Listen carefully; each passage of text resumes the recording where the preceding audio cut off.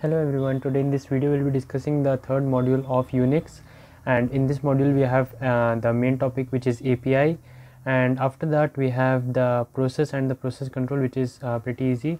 So we will be discussing both of these topics and let's get started and if you like this video hit the like button and don't forget to subscribe to my channel. So the first topic is about the APIs and after finishing the all the topics we will be discussing the previous year questions. So let's get started. here we have the first uh, which is the general file apis okay?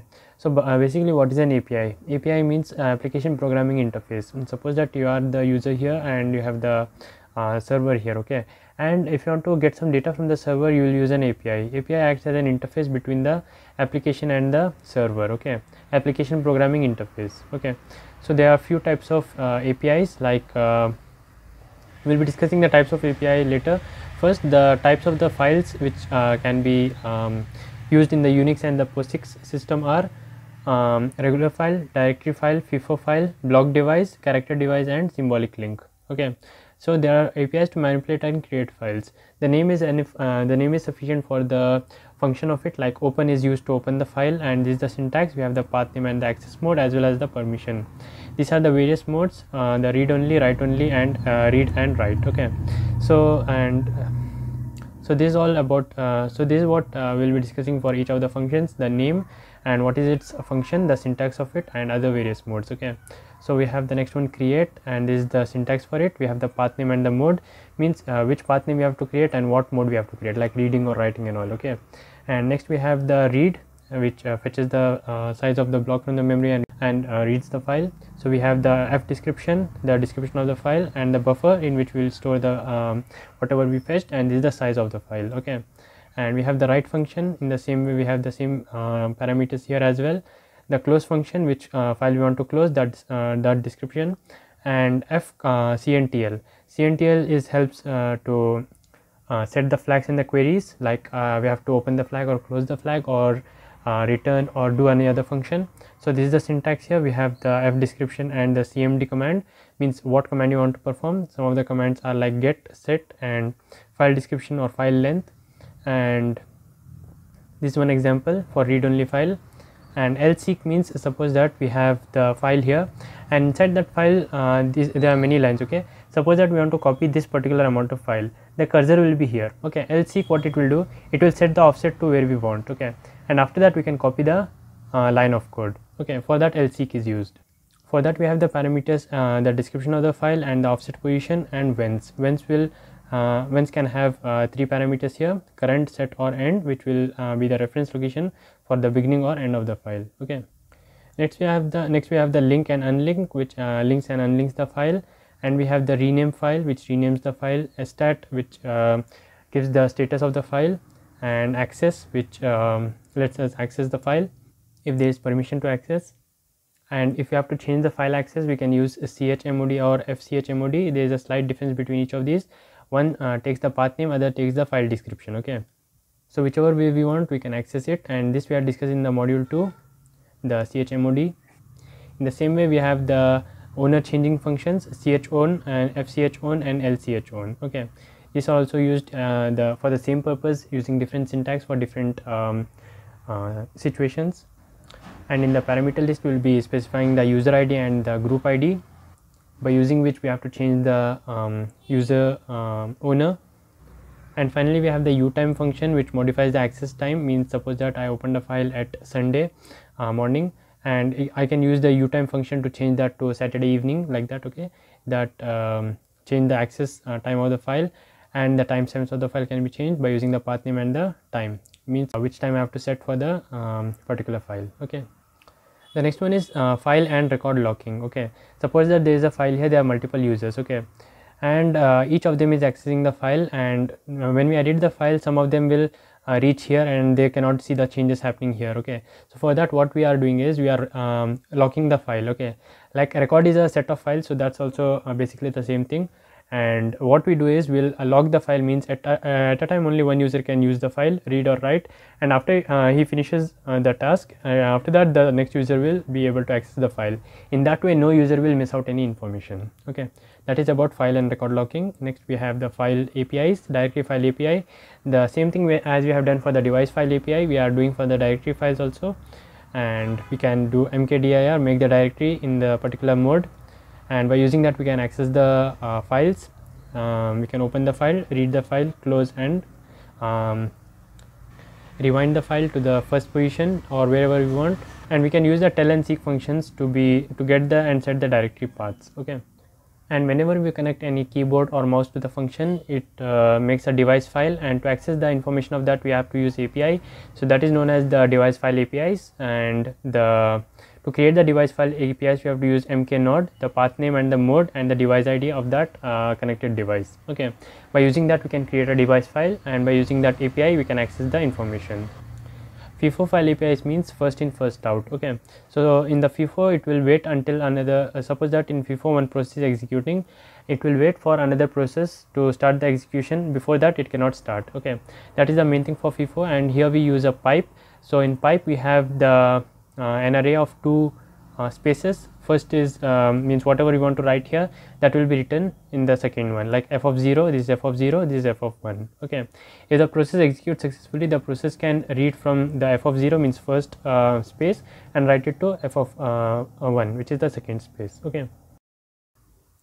Next we have the symbolic link uh, file apis it's an indirect pointer not like a direct pointer.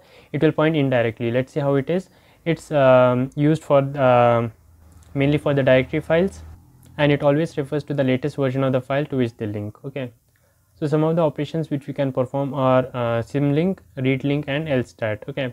This will link to the system this will read the link and this will uh, show the status so these are accessed indirectly like the address will not be specified but where you are present based on that the next file will be accessed okay?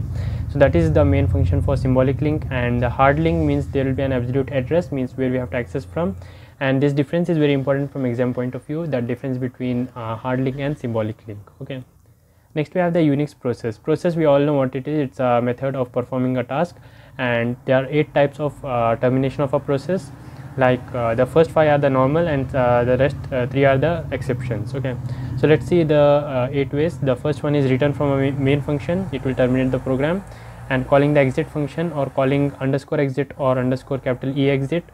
And return from the last thread from the start routine. Call the p thread exit from the last thread okay?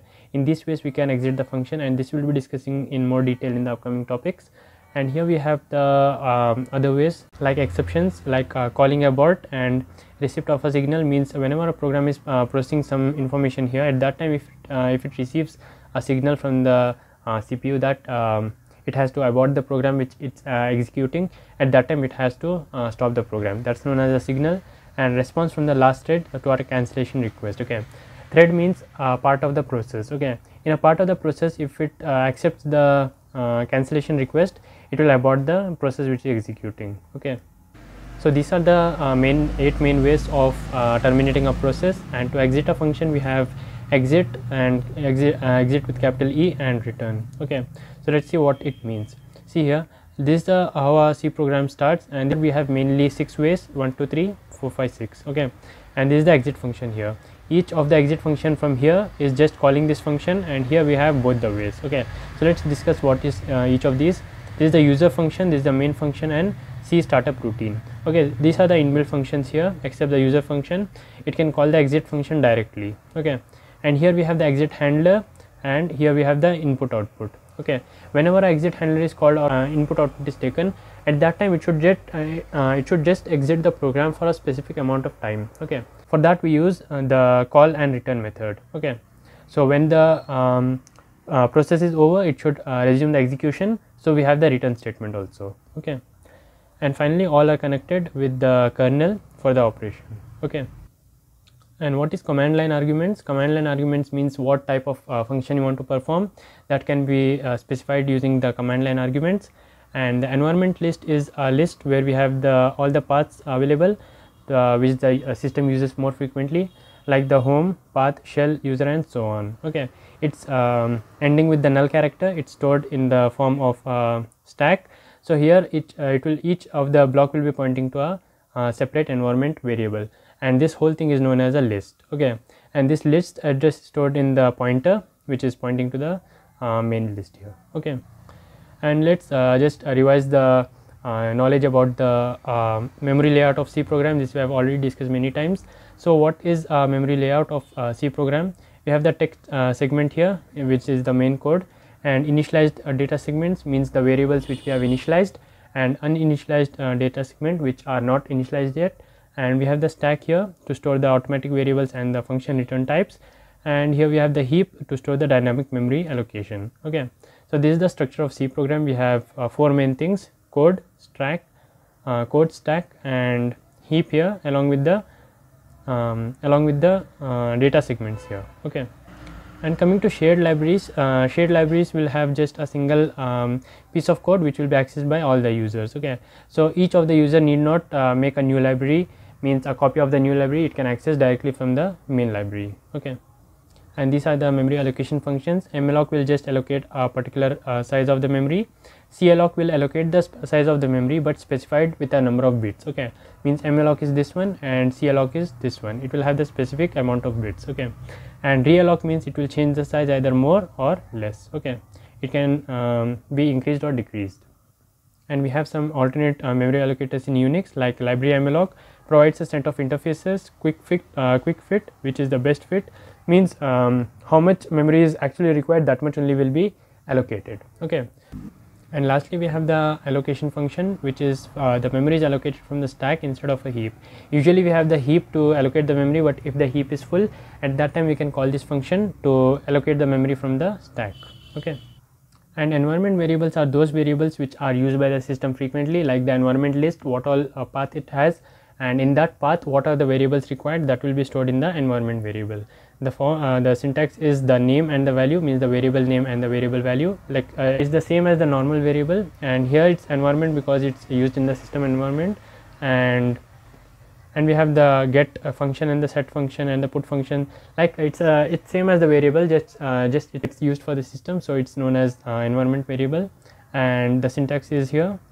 And these are some of the variables uh, commands which are used to get the columns date and the home language and so on okay?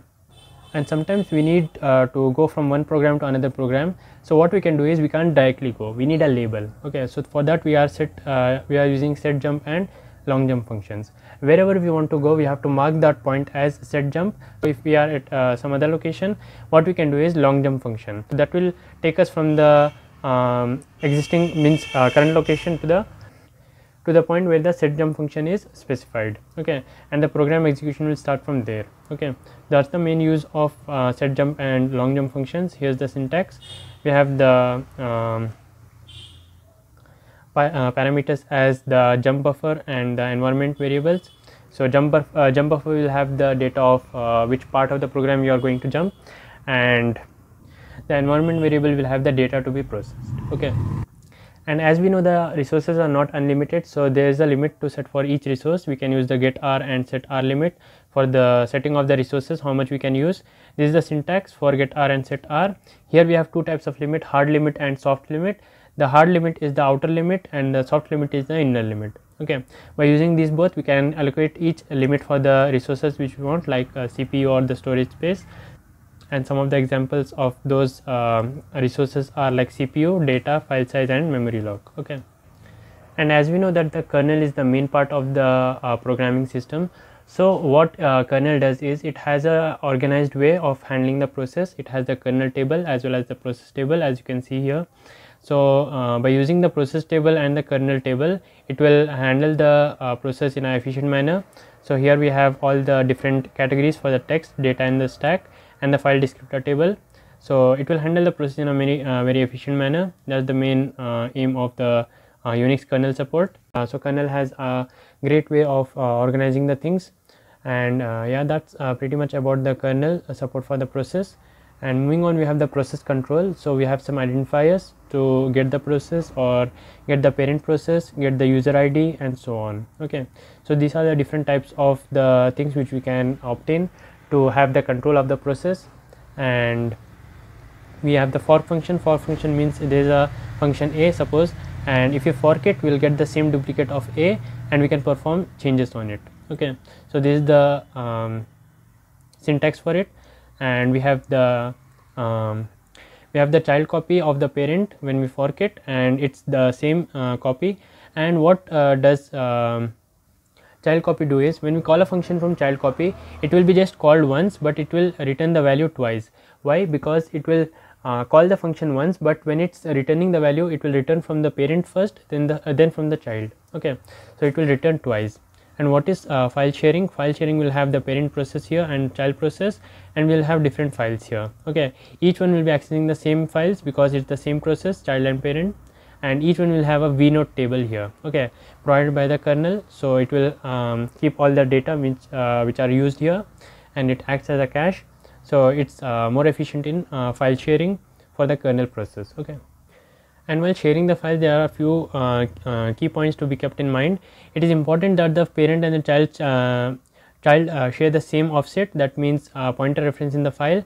If it's different means um, if the child is pointing to some other uh, place in the file and the parent is pointing to, parent is pointing to some other place. At that time the conflicts can happen. Okay. So that's the that's one thing. And second is that they can make changes to the standard output standard input and standard error only. Okay. Means these are the three uh, things in which they can make the changes. Okay. That's about the second key point. And coming to third key point there are two ways of handling the file uh, description after fork. Either the parent waits for the child process to complete means it will wait for the child uh, changes whatever it makes to complete it or else they can move in uh, both different ways. Okay. Means the parent can perform whatever the functions it needs and the child can perform its own functions. Okay. So that's the two ways of handling the uh, files after the fork. And in case the fork fails what uh, what might be the reasons? The two reasons are that uh, there might be too many process or too many process ids okay. So in these two uh, scenarios the fork uh, function can fail and the two uses of fork are when a, uh, process wants to duplicate itself so that the parent and the child can execute different sections. That's the first use. And second is that when a process wants to execute when a process wants to execute different programs. Okay. That's the two uses of a fork. So if one wants to utilize the virtual memory in a fork we can use vfork instead of a fork. Okay. And exit functions we already discussed. These are the ways like returning from a main function and all. So this has already been discussed like it's uh, just a bit more uh, detailed and here we have the wait and wait pid functions this is very important from exam point of view. Now see here what is wait and what is wait pid wait is a function which uh, waits for the child process to complete whereas wait pid doesn't wait. Okay that's the only difference. It will just wait before a function is completed. Okay that's the basic um, function behind the uh, wait functions. Okay so um, there are some ways to customize it like uh, by using the wait if exited wait if signaled wait if stopped. That means based on a condition a, a process will wait okay? And the second difference is that wait pid will uh, wait for one particular function okay? It will wait for just one particular function and the wait function will return any of the function which is terminated okay? So wait pid is for specific uh, function and wait and wait is for any general function okay and the third one is the wait id function which is similar to wait pid but it has some uh, extra functions which are discussed here. And before that let's uh, see the syntax of it. Pid pgid and pall okay these are the three id types. These are the three id types the process id group process id and wait for any child process. Okay. And we have the other arguments like uh, wait if uh, continued wait exited wait no hang wait no wait and so on. Okay so by using these functions we can wait till a function gets over. After that we can start the new function. Okay. And we have the wait 3 and wait 4 function. That's uh, basically for the for the returning of the summary of what uh, the resources were used. It is not for the waiting purpose but uh, for the return of the uh, uh summary of what all uh, resources were used. Like you can consider it as a stat stat status of the function which was performed. Okay. So this is the syntax here wait 3 and wait 4 both of these has a similar syntax. It's used for the different conditions. Okay. And race condition means that two processes are trying to access the same file. Okay. So what happens is when a child process and parent process because uh, when we fork it it the parent process it uh, makes a duplicate copy of itself which is a child process. Okay. So it's uh, obvious that it will point to the same file and it will try to access the same file together. Okay. So it will uh, make some conflicts there so let's see how the function is implemented. We uh, here we have written the three uh, conditions like if pid of fork is um, equal at that time system error else if it's 0 it's output from the child else it out uh, else it's output from the parent. Okay. So what happens is that uh, when we do the for loop here for the function the output from the child and parent will uh, come um, next to each other. Okay so there will be conflicts in the program. So uh, to avoid that what we can do is we can use tell and wait functions. Okay so tell uh, and wait function means we have the pid here for wait parent. Means when this is getting output it will um, make the parent function wait. And next when the uh, parent function is output it will tell the child that it can output the um, whatever it wants to output. Okay? In that way we can uh, do a synchronization between the parent and the child and so that there will be no conflicts in the program. Okay? Exec function is a very important concept from exam point of view. Exec means uh, execution function. Okay? When a process calls one of the exec functions that process is completely replaced by the new program. Okay sometimes we want to execute a new program right now okay right at the moment. So at that time what we can do is call exec functions okay. It will start the program from the main function and it doesn't change anything like the process id and all just the process resources will change okay. Like the test data heap data in the stack okay.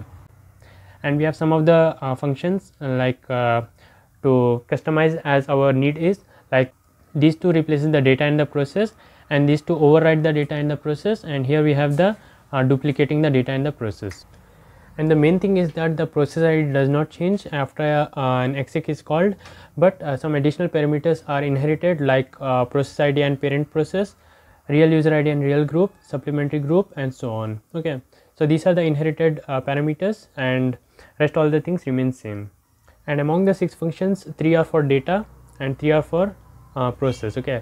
So when once the data is uh, ready it will uh, be sent to the process for the data to be processed. And uh, after that the final system call will be made from execve okay? And whenever we want to write any program for any function this is the main syntax which you have to keep in mind. First write if pid is equal to fork then it's a fork error. Else if uh, uh, means whatever the id is here if it's less than 0 there we have to output something. Else if it's 0 we have to output something okay? This will depend upon the type of the function but this is the basic syntax okay? So yeah that's uh, pretty much about the module 3 of unix. Now let's uh, discuss the previous year questions. In the previous year questions uh, it might be mixed but uh, let's see what it is. The first uh, is not from our module and here we have the save and exit commands. We have discussed in the uh, module discussion and the three files standard files it's in module 2 it seems like the in the previous year um, in the previous schemes the module uh, 2 topics were covered in module 3 so we have the uh, questions here. Okay. But these all topics are uh, discussed in a great depth in uh, module 2 so you can refer to the module 2 video. Okay. And this is also about the wildcard means it's just the specifications of how we want to output the values. Okay. And various xmod commands and here we have the commands for the output like lsl and all. I think the uh, most of the things uh, mentioned here are from module 2 but uh, basically the main things no i guess all it's what all is mentioned is about the module 2 what all is mentioned is about the uh, mainly about the module 2 so let's uh, see in the next module if there's any question regarding the module 3 and that's all for this uh, video and thank you for watching and see you in the next one